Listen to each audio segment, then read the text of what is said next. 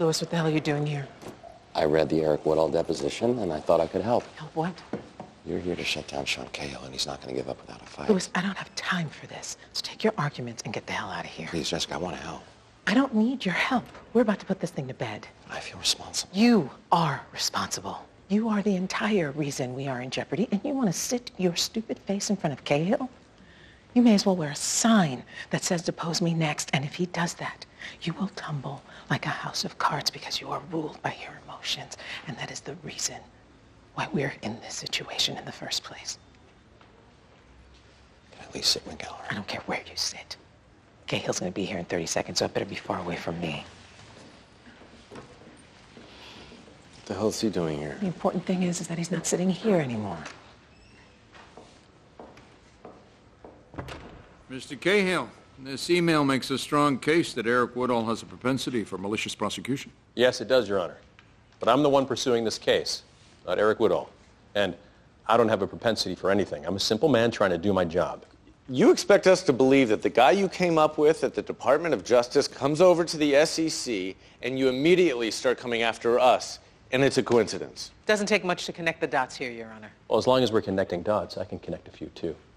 Let's start with Jeff Malone, a man who used to work at the SEC, now conveniently works at Pearson Specter. It's not against the law to change jobs. Yes, but why did he change jobs? Because he was instructed to come after us on behalf of the SEC. So he says. I think it's because he wanted to work with his girlfriend, Jessica Pearson.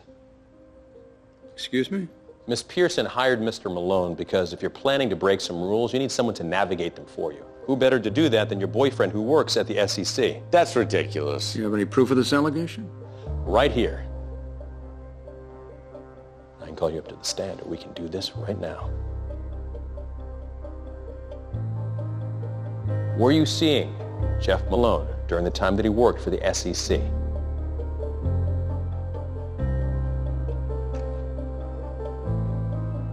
Please let the record reflect Miss Pearson said yes.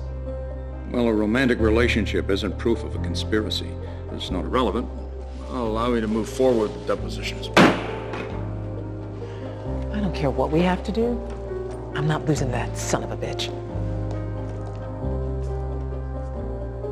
Despite what we just proved, you're not losing to him, you're losing to me. And as far as depositions go, now it's our turn.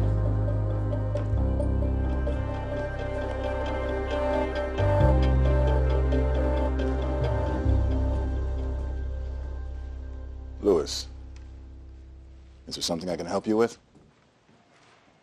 I was just thinking things were so much simpler when I was in here. Yeah, Louis, um, I know about you and Jessica. what? It came out in court. See, I thought you were using me to get ahead when you really just wanted to spend more time with Jessica. What are you doing in here, Louis?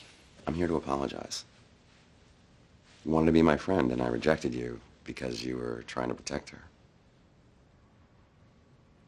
You must have felt so alone. And believe me, I know what it's like to feel alone. You're not alone. Oh, I am.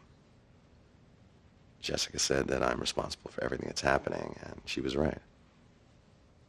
No one made me make that dirty deal with Forstman. Now she won't forgive me. I'm alone. And you want me to talk to her for you? You're the only one I can go to, Jeff. And you're the closest person she has. Sure, Louis. I'll talk to Jessica for you.